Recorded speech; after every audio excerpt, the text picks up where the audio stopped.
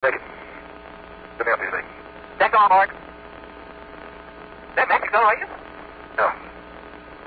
Man, you're really bouncing. Is he underground at all? 10 kilometers. Huh? He's got about two wheels on the ground. He's a big rooster tail out of all four wheels. And as he turns, he skids, the back ends break loose just like on snow. Come on back, John. See, the DAC is running. Man, I'll tell you, Indy's never seen a driver like this.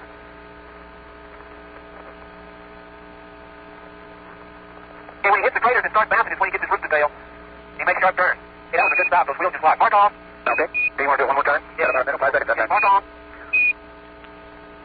Yeah, you can go the other way. Go ahead. There's a big crater there, aren't there? Yeah, I don't want to know fools. They want four minutes for it, John. Runs a minute and five. Then you can do it twice more. Surely. Hey, turn sharp. I have no desire to turn sharp. okay, here's the sharpie. Hey, that's great.